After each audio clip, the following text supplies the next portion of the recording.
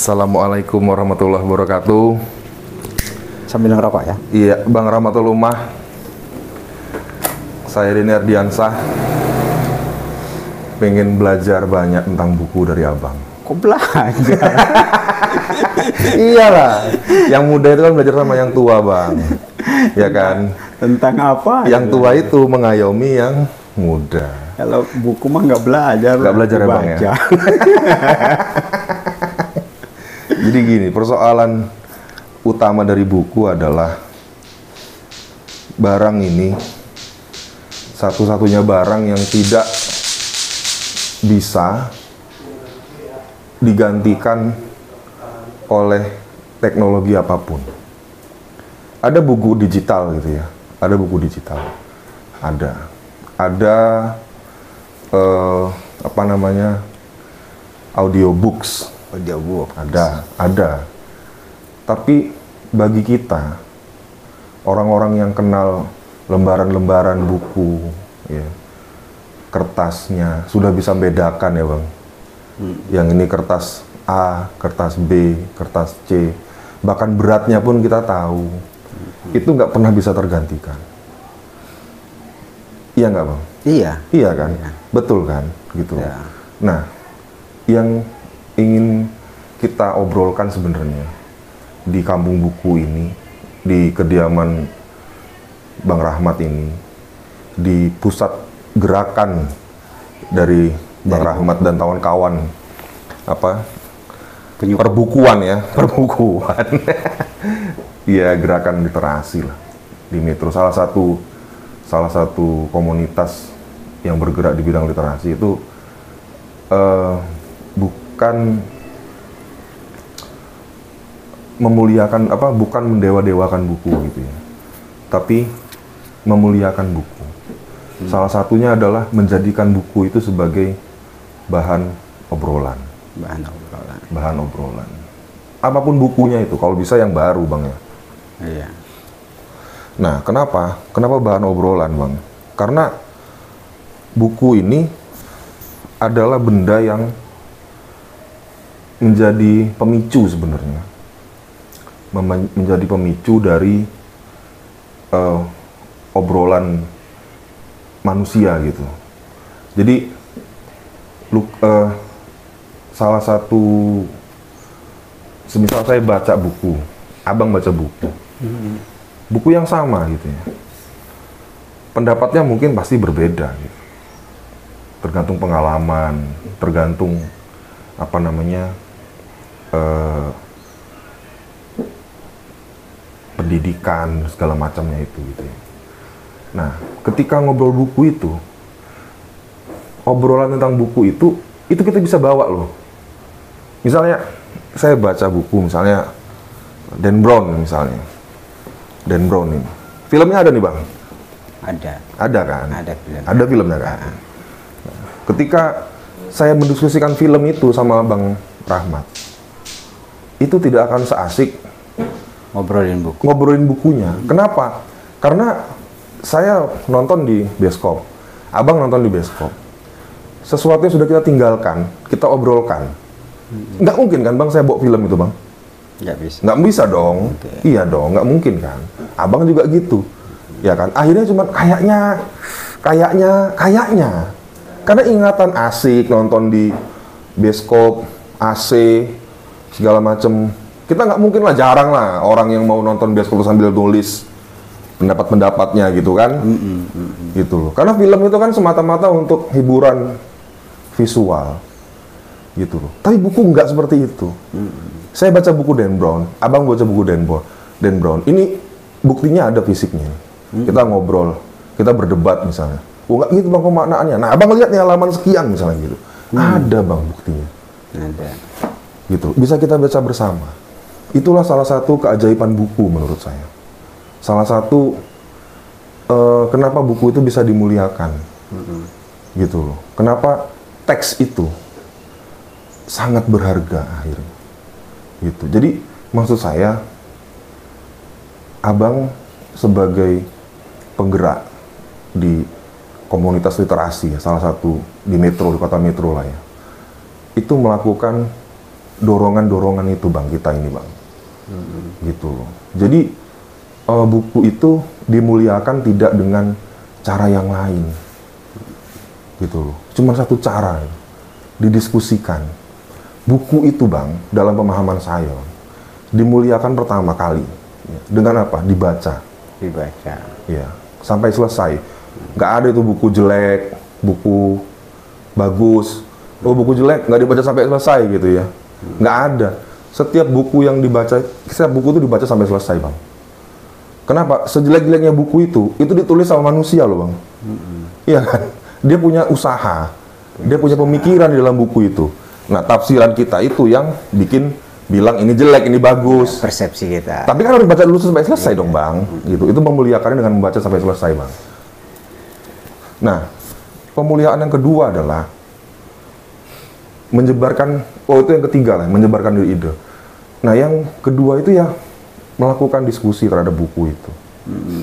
Bisa dengan, karena ketika kita baca buku bang, itu sudah sudah berdiskusi loh dengan diri sendiri gitu ya.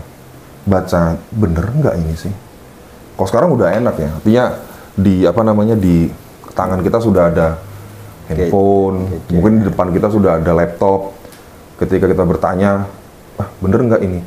Kita search di Google sesuatu yang ber, apa sesuatu yang membuat kita bertanya-tanya itu gitu.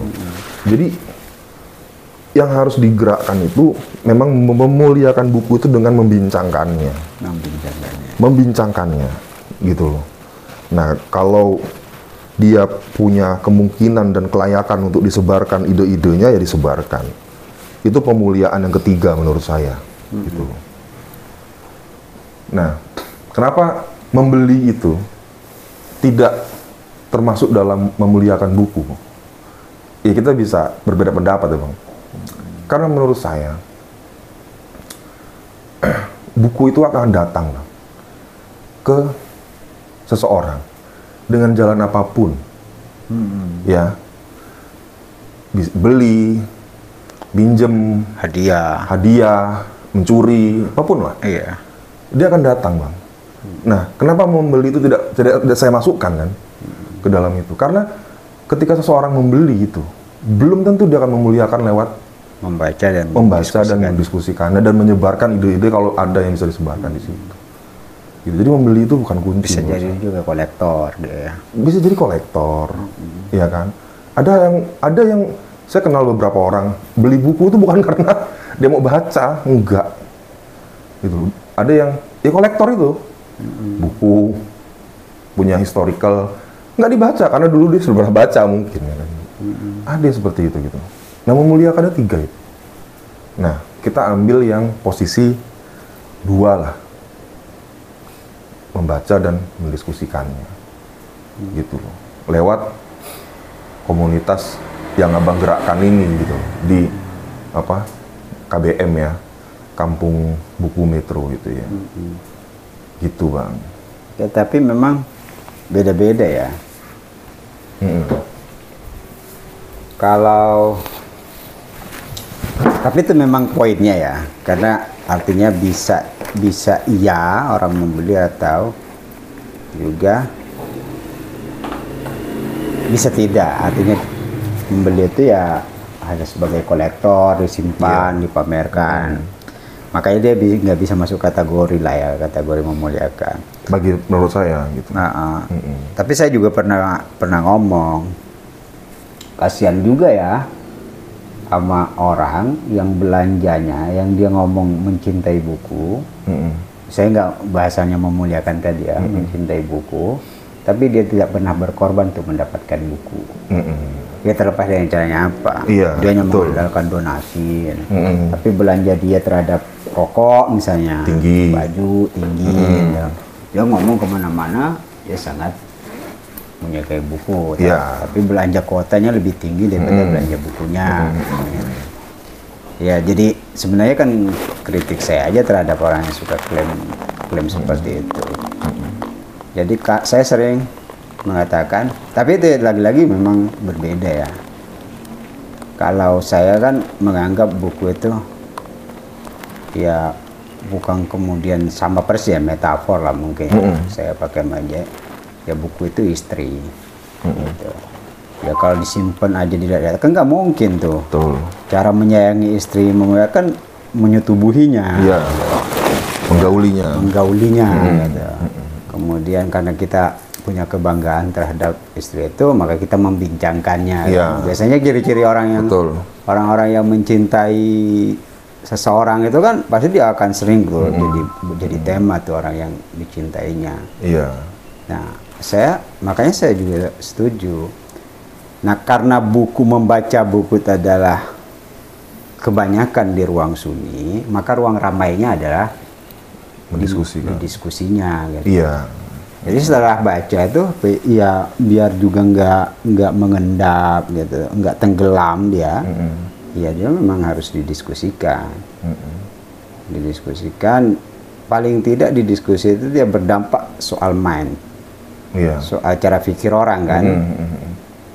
Jadi dampaknya mungkin tidak bisa diukur dengan orang yang membuat komunitas pasar gitu. Mm, mm, mm. Karena berbeda, Betul. ruang yang disentuh juga berbeda Iya, kan. mm.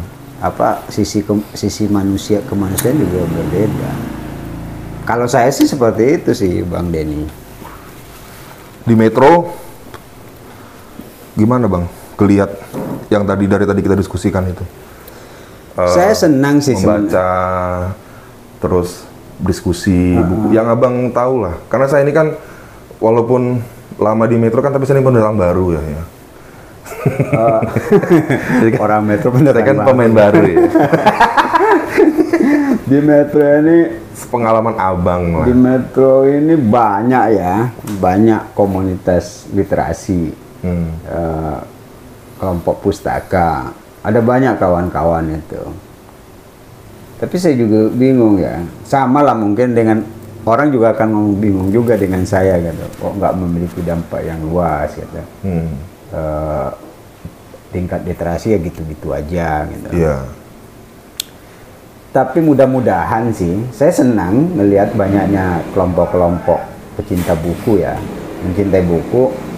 Apakah memang mencintai pengertian dia membaca atau sebagai koleksi saya nggak tahu lah ya. Dan mereka kampanye, kampanye juga soal ayo membaca gitu. Nah, saya sih berdoa mudah-mudahan itu bukan latah, kalau lagi Iya. digalakkan, ad- apalagi ada anggaran untuk menggerakkan, kemudian ya tetap ya harus kita sikapi positif sih. iya jelas Cuma mungkin kita belum belum terkoneksi dengan baik dengan beberapa kelompok itu. Terutama dalam mendiskusikannya. Biasanya kan ada beberapa buku yang nyaris sama lah bacaannya. Bacaan kita ya dengan dia. Cuma kan nggak terkoneksi dengan bagus apa yang mereka Iya. pahami. Mestinya kan memang menurut saya harus sering kali bertemu dengan kawan-kawan yang suka buku. Ada juga tipikal orang yang suka buku kayak gini. Habis baca dia jual kan. Karena Iya. Menurut dia udah selesai Iya, kan. ah, ah, ah, iya. Kalau saya Mm-mm. termasuk yang enggak, enggak seperti itu.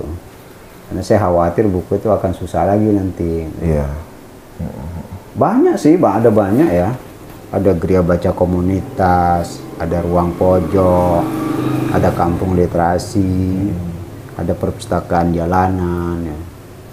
ada eh, Mas Dwi itu di kampung pengangguran kan ada pustakanya juga, kan. ada Kalau yang- payungi, kalau yang diinisiasi oleh pemerintah itu pengetahuan abang rumah pintar. dalam artian ada pergerakannya atau belum belakang apa ya sepanjang abang bergelut lah dengan kegiatan-kegiatan literasi gitu. Ada sih sebenarnya ya. Cuman kan belum efektif aja saya lihat. Ada beberapa rumah pintar atau perpustakaan kelurahan sekarang mereka menyebutnya ya. Eh rame itu kalau ada lomba gitu ya. Tapi ada beberapa yang memang secara konsisten itu membuka ya. Iya. Ada data bukunya. Nah, kenapa menurut saya ini belum jadi habit mereka? Artinya bukan dalam rangka mereka senang buku, senang buku dalam pengertian hakiki ya. Iya. Sejatinya orang yang suka buku, Ah, ah, ah. kesehariannya itu ya mestinya menggauli buku ya karena mereka kadang seminggu dua kali gitu ya Heeh. Ya bingung juga saya cara pikir orang kalau dia memang suka buku tapi punya jadwal jadwal jadwal jadi kayak apa ya kayak birokrasi kayaknya ya Iya.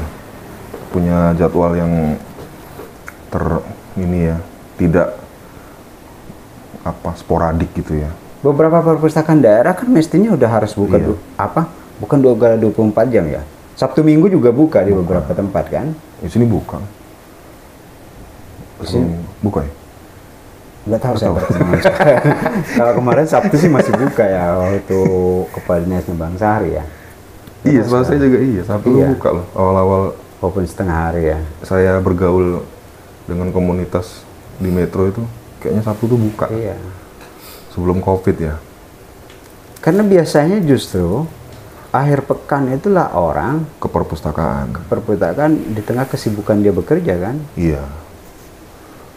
Iya, iya, iya. iya. iya. Nggak tahu kalau kalau Bang Denny gimana melihatnya? Kan pasti juga udah berinteraksi lah walaupun pendatang baru. Orang suka buku itu mencari teman yang sehobi biasanya kan? Iya. Kan?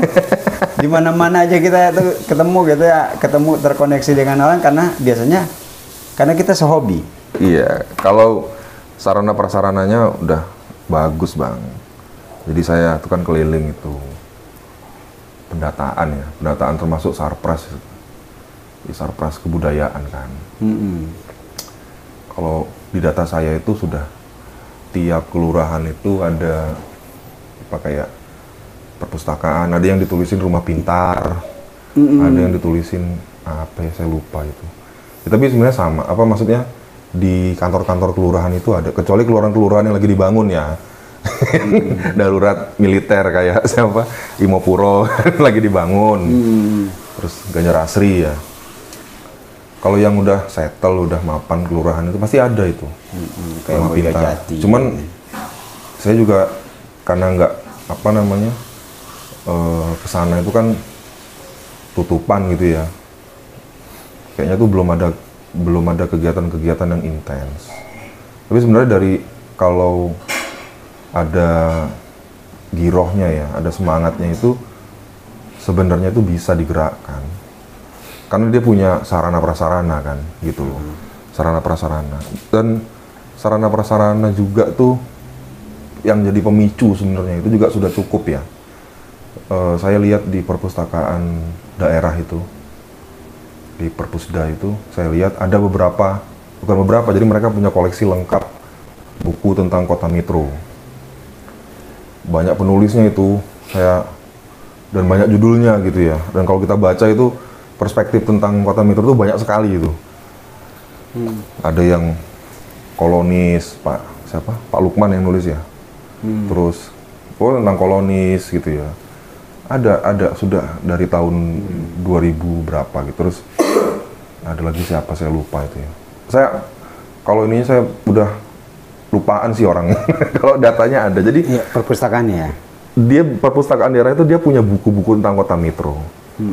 Itu pemicu sebenarnya yang harus di yang harus diledakkan gitu. Jadi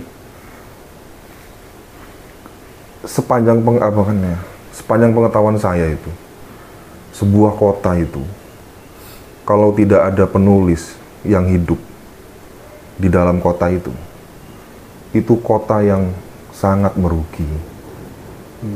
Ya, tapi Metro ini sudah nggak rugi sebenarnya karena ada orang yang nulis tentang kota Metro itu. Jadi banyak udah buku-buku tentang kota Metro itu banyak. Itu harus bisa di apa nggak ada beberapa ya? Nah ini nih. Nah ini kan Kian ya, Kian Amboro ya. Ini yang baru lah, ini yang generasi anak gaul zaman sekarang. Nah ini kan Ahmad Muzaki ini bang. Ini sebenarnya kan jadi pemicu, pemicu yang harus di apa ya, harus dikapitalisasi, harus di dalam bahasa saya tuh dimuliakan itu. Ini pasti banyak ide dong di dalamnya. iya Pertama dia punya banyak ide, dia punya banyak cerita gitu loh. Yang nggak usah lah kita ngomong apa ya, misalnya Dan Brown ini, Dan Brown ini orang mana lah nggak tahu lah ya gitu kan, gitu loh. Nggak ada hubungan sama Metro gitu kan ya. Gitu. Akhirnya kan orang akan menjadi eksklusif terus, Bang. Iya. Kalau kita nggak berbicara soal yang paling dekat dengan manusia itu hidup, Iya. yang paling dekat dengan kita kan metro, gitu loh.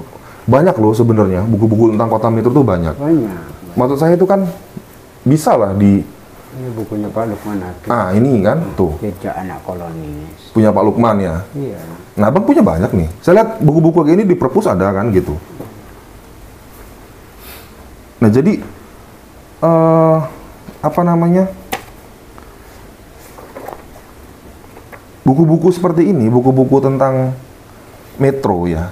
Ini harus didorong. Jadi tidak eksklusif hanya peneliti, hanya akademisi, Heeh. gitu loh. Dan saya dengar juga kayak bidang kebudayaan ya itu udah sudah merencanakan itu deh apa namanya eh kurikulum sejarah lokal Iya. ya kan nah saya berharap dari kurikulum sejarah lokal itu yang pertama buku-buku ini muncul kembali kalau punya Kian masih golongannya masih ter, masih baru lah ya gitu loh masih baru kayak punyanya Ahmad Muzaki Mas Muzaki ini terus Ada, ada juga Lukman metro Hakim ini kota- kan udah agak lama kota nih kolonis tuh, agak lama juga. ada yang Metro kota kolonis ya. siapa tuh bang Tim Lampos yang itu nulis ya. Nggak? bukan oh iya tim Lampos ya Tim Lampos. Mm-mm. Jadi kita berharap dengan adanya buku-buku apa tentang kota metro itu bergerak lagi gitu loh bang di metro ini. Karena yang paling dekat saya, yang paling dekat itu kan sama kita metro ya. Saya misalnya eh, orang yang nulis tentang pasar metro gitu. Hmm. Saya pernah baca tulisannya Cak Nun itu dia. Nah itu saya cari-cari lagi tuh nggak pernah ketemu lagi tuh ya di salah satu esainya itu Cak Nun itu nulis tentang pasar apa Cendrawasih gitu kan. Gitu loh. Nah itu kan yang paling dekat loh sama kita itu. Tulisan-tulisan tentang kota itu bukan berarti saya metrosentris atau membangkitkan isu-isu regional gitu. Enggak gitu loh. Tapi komunitas-komunitas itu sebenarnya bisa bergerak Ya biar masyarakat juga nggak tercerabut dari akar. Dari akarnya. Lupa dari sejarah. dia punya kan? penyimpanan dalam buku itu kan buku itu kan storage ya apa penyimpanan penyimpanan memori penyimpanan ide-ide itu di buku. Merawat kenangan. merawat kenangan itu ya nah itu di buku itu nah sebenarnya itu punya lah sarana prasarananya udah udah ada gitu loh terus pemicunya sudah ada bahan diskusinya buku-buku tentang kota metro ada Ya mestinya begitulah perpustakaan ya. Idenya bagus sebenarnya itu menurut saya. Ya soal yang dekat dengan masyarakat itu biasanya memang masyarakat ki- masyarakat kita di mana saja itu pasti lebih tertarik dengan penulis yang dia kenal. Iya. Kedua isunya dekat dengan Deket mereka. dengan- iya gitu. iya Bahkan sampai sekarang juga apa apa-apa isu ya kalau kita ngikutin trending media ya. Isu-isu viral itu kan yang Iya. cukup mewakili perasaan Iya. publik kan, Ah, ah, ah, maka dia bisa jadi viral. iya betul Biasanya kayak gitu, makanya memang isu itu harus dekat seharusnya. Cuman mungkin sekarang perpustakaan itu rata-rata masih berfungsi sebagai ruang baca aja ya. iya bukan salah apa Jadi satu satu indikator memu- cara memuliakan buku aja yang dijalankan ya. Mm-mm, mm-mm, mm-mm. Yang indikator lainnya belum belum belum belum Iya. terlihat lah gitu loh seperti mendiskusikan. Nah kita jadiin aja apa kemarin programnya goban goban ngobrolin bacaan ngobrolin bacaan. Kita kasih juga goban. kita kasih goban Ya, sumber ya kan.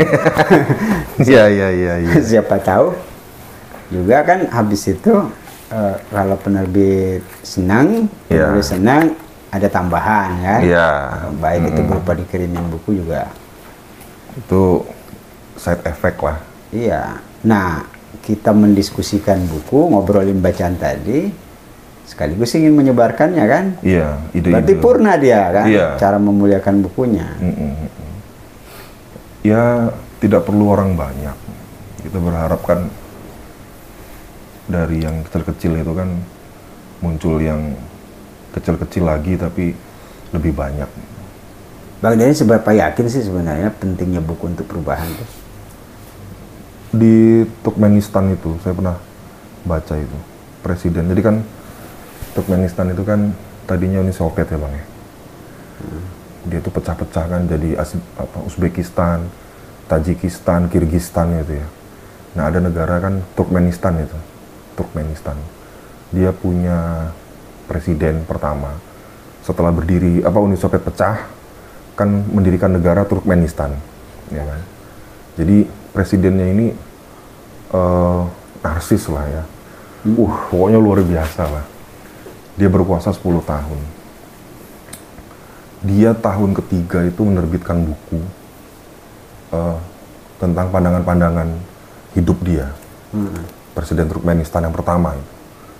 Eh, kalau kayak Nazi itu kayak modelnya Mein Kampf gitu lah ya. Hitler ya Hitler ya. Bukunya kan Mein ten- Kampf. Mein Kampf itu ya. Nah itu juga sama.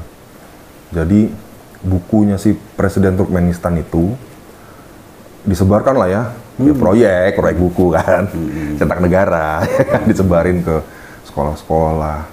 Akhirnya semua warga harus punya, semua warga harus punya. Kecil kan negaranya. Semua Beli warga- apa gratis warga? gratis, Gratis. dikasih. Semua warga harus punya. Nah ternyata, ternyata tahun kelima kalau nggak salah, apa tahun keenam dia jadi presiden, semua perpustakaan ditutup. Semua perpustakaan ditutup. Ah, Eh, semua taman-taman baca ditutup. Ya kan? Saya nggak tahu itu apakah semua buku dibakar itu saya nggak tahu. ah. Apakah semua buku dibuang saya nggak tahu lah ya. Tapi yang jelas semua perpustakaan ditutup. Pribadi, punya negara, semua itu tutup. Alasannya apa?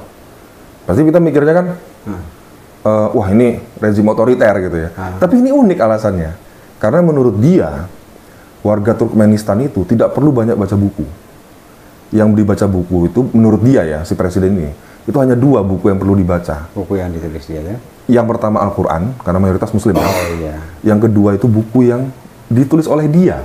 Karena isinya sudah paripurna katanya. Kayak sudah sempurna. udah merangkum Konsep semua buku. filsafatnya ada. Iya. Sejarah Turkmenistan ada. Fikihnya yang fikihnya ada. pandangan dia terhadap Al-Quran ada di bukunya itu. Dan itu dibikinkan sama dia kayak semacam tugu besar di Turkmenistan di salah satu wilayahnya itu. Isinya tugu itu ya tentang buku itu. Jadi kayak semacam pengingat. Orang-orang harus baca buku itu. Nah, kalau abang nanya, seberapa penting perubahan buku itu berpengaruh terhadap perubahan? Ya dari cerita itu penting nggak? Penting kan, gitu loh. Penting, gitu. Kalau kalau saya kan sering gini. Saya selalu membayangkan peradaban-peradaban bernostalgia sih Iya. sebenarnya. hmm. Saya membayangkan peradaban-peradaban besar dibangun di atas buku kan, di Iya. atas perpustakaan kan. Mm. Hampir tidak ada ya. Mm-mm. Kedua, kenapa rezim otoriter Mm-mm. yang tadi kita sebut, disebut tadi ya, itu selalu ketakutan dengan buku. Iya. Nah, kesimpulan saya, saya menarik kesimpulan buku ini berbahaya aja gitu. Iya. Ketiga, saya ngelihat funding fathers kita Mm-mm. itu adalah para penyuka buku, Menulis juga.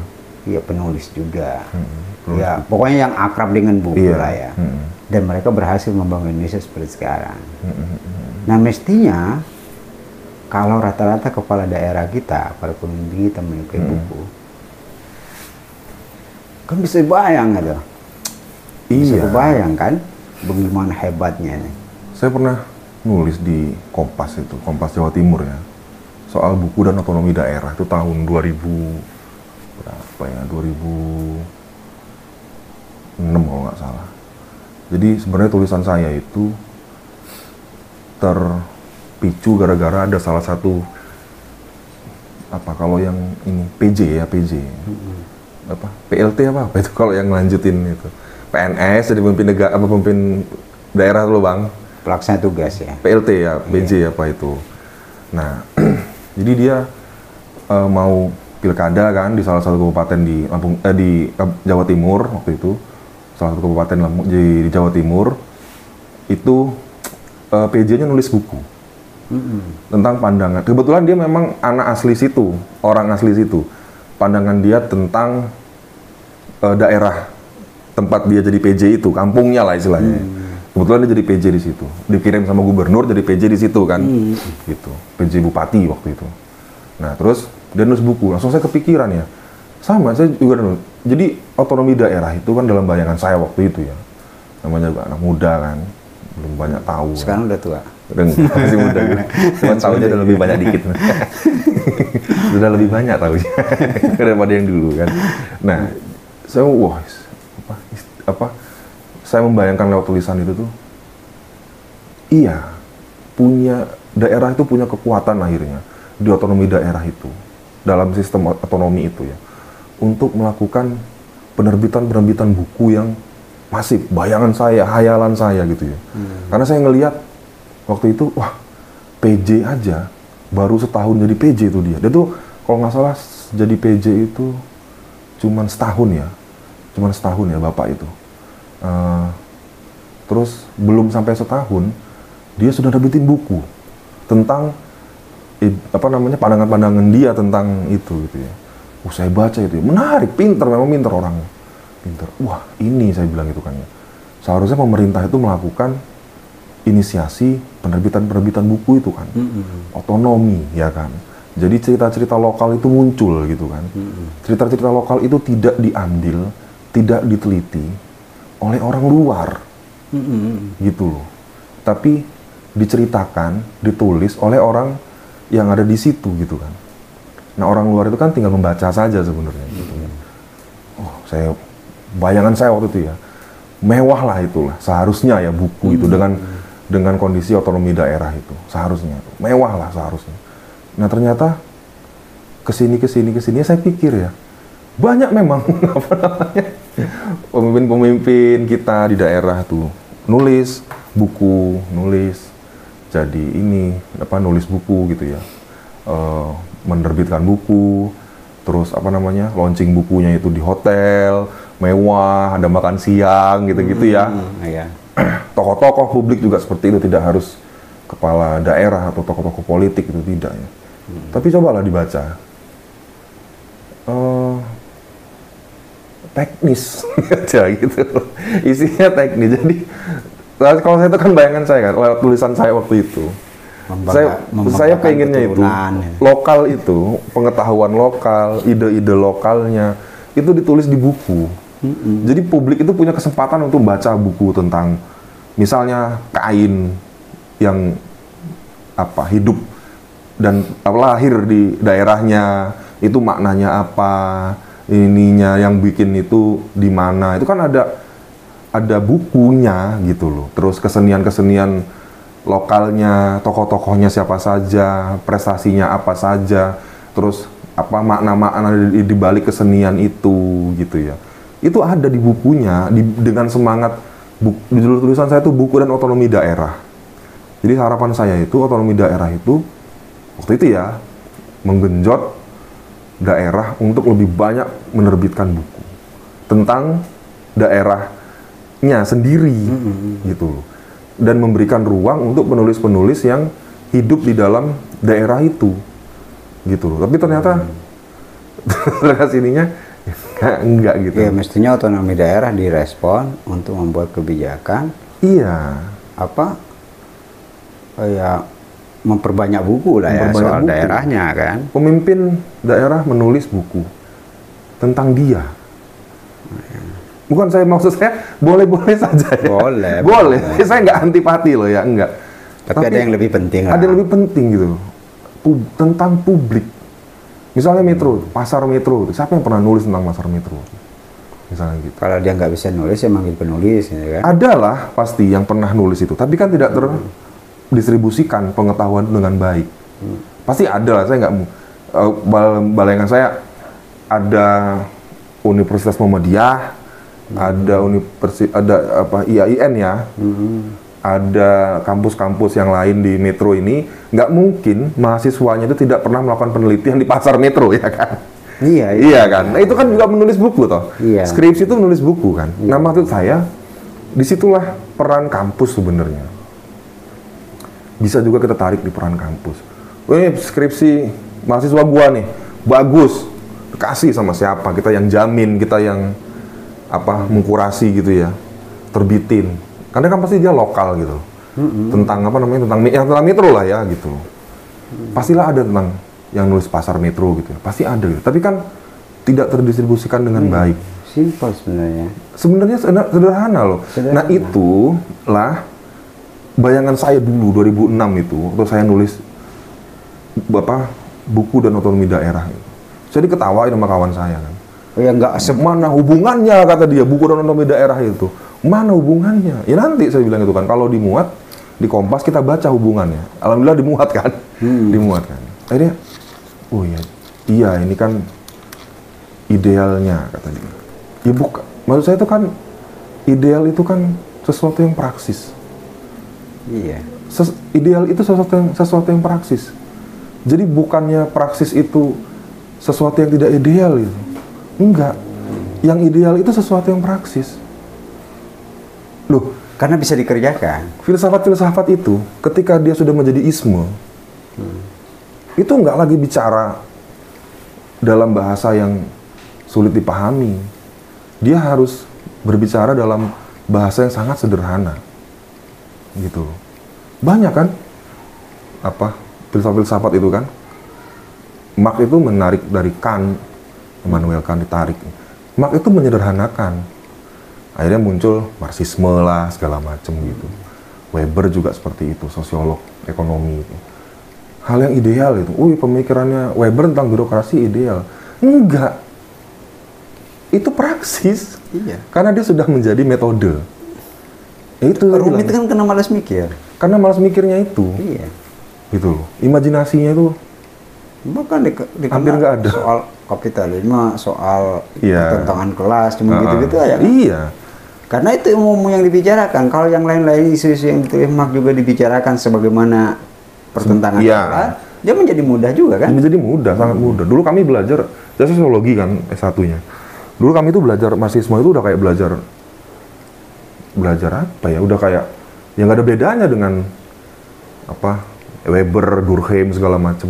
Jadi nggak ada yang apa Oh, oh ini banget. PKI gitu kan. Oh ini apa namanya partai apa ada ajaran terlarang gitu. Enggak di kampus saya itu kan dulu. Ya, karena jurusannya sosiologi gitu. Tapi nggak juga sih bukan karena jurusannya itu. Karena pemikiran-pemikiran yang ideal itu pada hakikatnya itu sebenarnya adalah pemikiran yang praksis gitu loh. Nah, Iyalah nggak tergantung tinggal- jurusan saya di pendidikan tinggal juga. lokalitasnya loh bang bisa nggak lokalitas itu menerima pemikiran itu ya itu kan berbicara lagi soal pengalaman sejarah apa namanya di dalam daerah itu. Bisa nggak menerima pemikiran itu? Akhirnya kan banyak ada kritik di situ terhadap pemikiran-pemikiran itu kan. Kritik-kritik itu muncul dari pemikiran yang ideal yang praksis itu berusaha untuk diterapkan dan gagal. Ya bang? Gitu. Dan gagal. Nah itulah muncul kritik loh. Nah itu dia muncul revisi. Orang-orang Frankfurt Theodor Adorno dan segala macamnya itu melakukan revisi terhadap pemikiran-pemikiran eh, Kant dan Marx. Dan pemikiran kapitalis yang basicnya itu kapitalis gitu kan. Ini sebenarnya Marx juga kapitalis juga sih sebenarnya? Kalau mau ditarik-tarik ke mana-mana kan? Sebenarnya lah.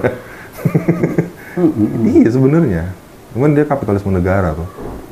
Ya kan? Ya rata-rata komunis, sosialisme pada kapitalisme negara. Lah iya, dia makanya. ingin memperkuat negara untuk menguasai. karena persoalannya kan modal Iya. kita diomongin modal ini cara pandangnya beda kan? Itu kan sebenarnya gitu. Nah ketika di apa dibawa ke sebuah negara ke sebuah daerah yang punya kultur sendiri gagal kan? Gitu ya. Nah itu muncullah dia itulah dialektika bang dalam pemahaman saya. Itulah dialektika.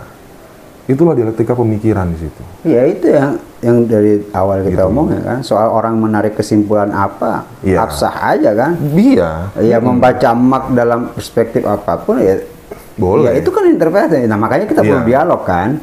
Sama dengan orang membaca Machiavelli umpamanya. Mm-mm.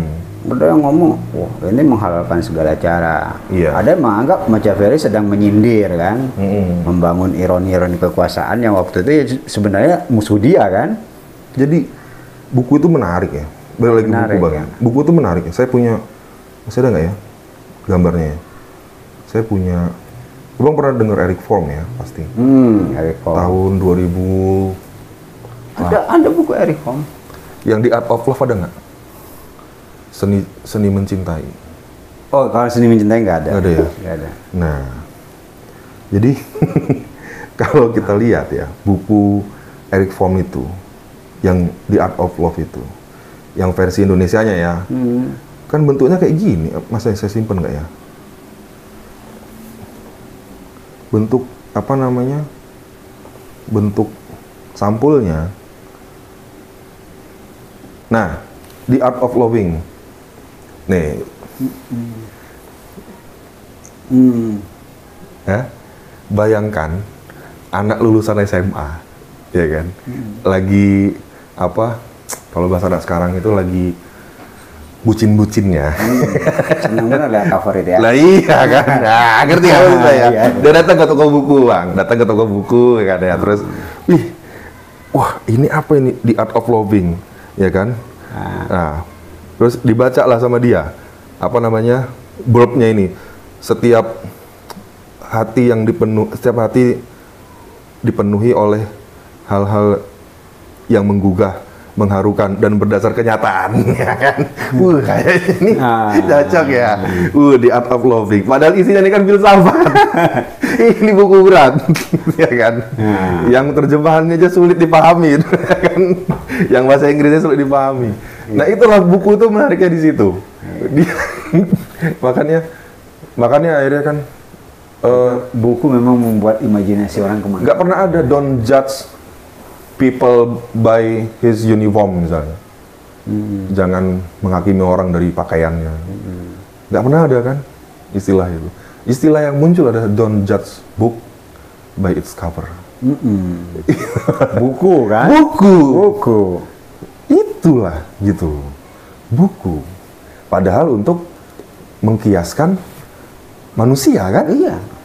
gitu jangan menilai orang dari misalnya tatonya atau apa Mukanya. mukanya gitu yang dipakai don't judge book by its cover kan Cover buku. jangan menilai buku dari covernya aja itu menariknya buku tuh bang itu yang aku temukan menariknya buku itu itu Iya, Harun Ar-Rasyid membangun Baitul Hikmah ya, dengan uang yang lumayan besar.